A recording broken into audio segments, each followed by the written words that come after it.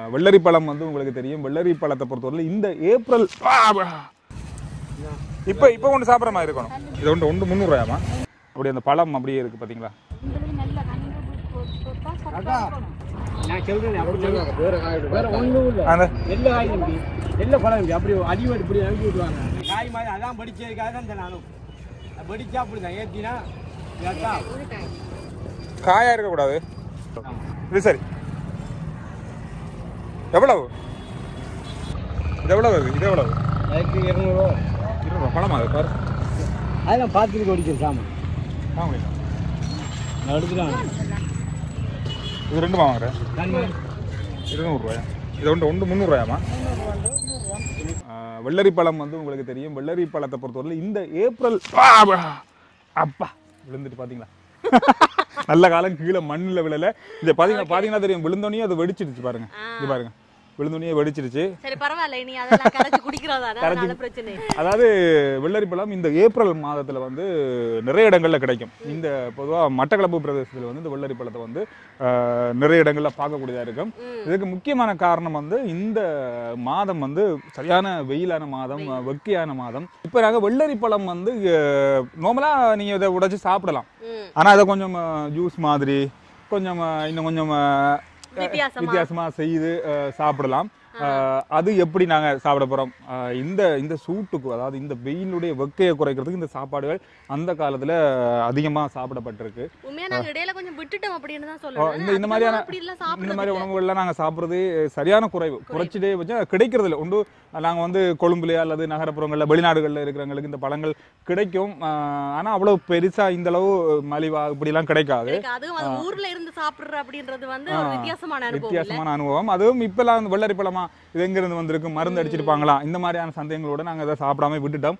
இருந்தாலும் இன்றைக்கு நாங்க வந்து இந்த வெள்ளரி பழத்தை சாப்பிட மருந்து எதுவும் அடிக்கல. இயற்கையா அப்படியே பழுத்து அழகா இருக்கு பாக்குறதுக்கு. வந்து பார்க்கறதுக்கு பாருங்க. இருக்கு ஆஹ், பாப்போம் எப்படி இதை செய்யலாம் செய்து சாப்பிடலாம் அப்படின்னு பார்க்க போறோம். ரைட்டா ஓகே கத்தியே கொண்டு வந்தா நான் கத்தியால வெட்டவே தேவையில்லை.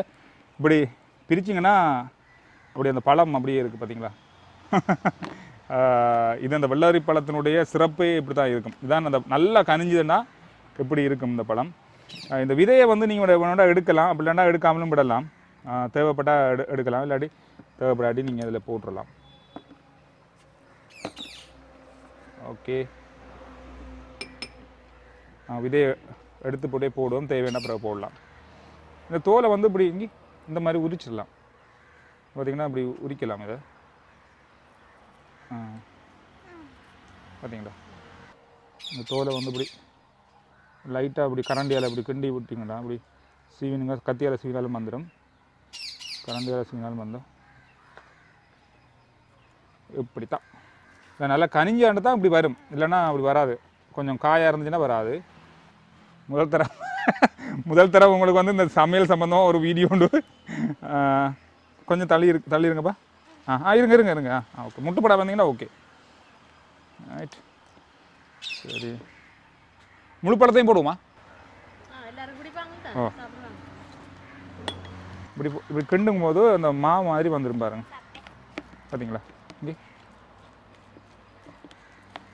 பார்த்தீங்களா இந்த மா மா மாதிரி வரும். அந்த கூழாவே வந்துடும் சீனி போட்டோன்னே அந்த சீனின்ற ஒரு தண்ணித்தன்மை இருக்கும் தானே? அந்த தண்ணித்தன்மையோட என்ன செய்வோம்னா அப்படியே கரைஞ்சி வந்துடும் இந்த விதையை போடுவோம் கொஞ்சம் போட கொஞ்சம் தண்ணித்தன்மை இருக்கும்.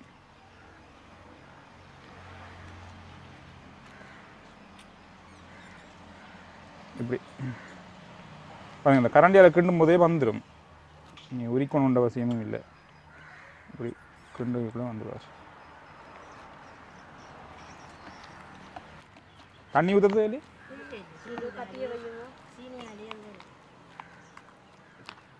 சீனி கொஞ்சம் போடுவோம் இப்போ. தான் கத்தி தான் ம், கத்தி கத்தி எடுக்க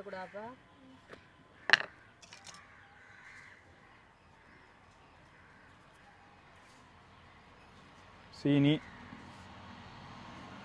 சீனி உண்மையாக கூட போடக்கூடாது. அதில் உண்மையிலேயே இனிச்சா நல்லா இருக்கும். ஆனால் சீனி போடாமல் சாப்பிட்டா நல்லா இருக்கும். இன்னும் ஆரோக்கியமாக இருக்கும்னு சொல்லுவாங்க. நம்ம சீனி போடாட்டி நமக்கு தான் ம். ஓகே பெருசாக சீனி. இந்த பார்த்தீங்களா சீனி போட்டோன்னே பார்த்தீங்களா தண்ணி தன்மை வந்துடும் அந்த விதை போடாமலே அந்த தண்ணி தன்மை வந்துட்டு. பார்த்தீங்களா தண்ணியாக வந்து இருந்தால் தான் கொஞ்சம் நல்லா இருக்கும்.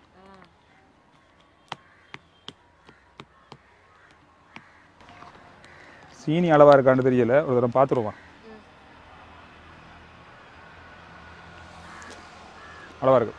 இந்த அளவு காணும். இதோட கூட செஞ்சு போட்டோன்னா ஓ, உங்களுக்கு கூட. சுகர் ஆன ஆக்கள் நிறைய பேர் இருக்காங்க இங்க. எனக்கு பிரச்சனை இல்லை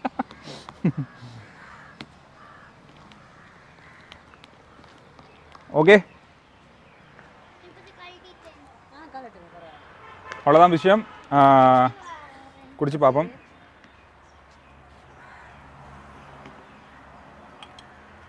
கட்டியெல்லாம் இருந்து கட்டியோடலாம் எடுத்து சாப்பிட வேண்டாம். நல்லா இருக்கும். ஓகே ம். ரைட் அப்படி பார்ப்போமா? வெள்ளரி பழ ஜூஸ் ரெடி செம்மையாக இருக்கா? நான் செஞ்சன்றதுக்குல ம். உண்மையிலே நல்லா இருக்கு. சரி சரி நம்பிட்டேன். உண்மையிலே நல்லா இருக்கு. ஓகே. சீனியும் அளவாக இருக்கு. அம்மா சொன்னா உப்பு போடுறதுல லைட்டாக பண்ணால் கொஞ்சம் உப்பு தூவி விடலாம்.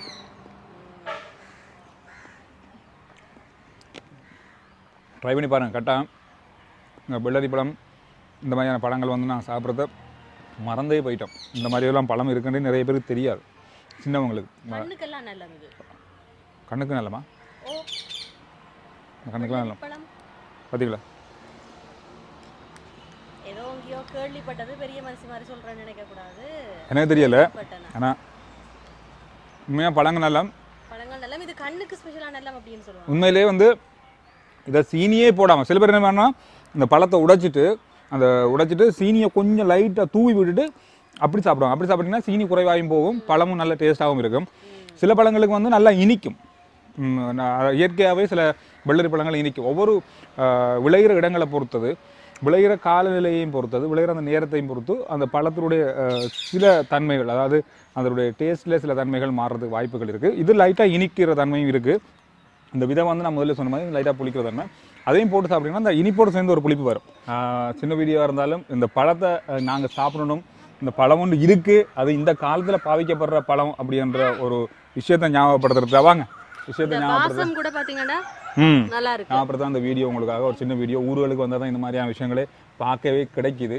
ஓகே நாங்கள் வந்து இன்னும் நிறைய வீடியோஸ் இருக்குது ஆர்ஜே சந்துரு வீலாக் யூடியூப் சேனலை வந்து சப்ஸ்கிரைப் பண்ணுங்கள் அடுத்த வீடியோவில் உங்களை நாங்கள் இன்னும் இன்னும் நிறைய வீடியோஸோட சந்திக்கிறோம்.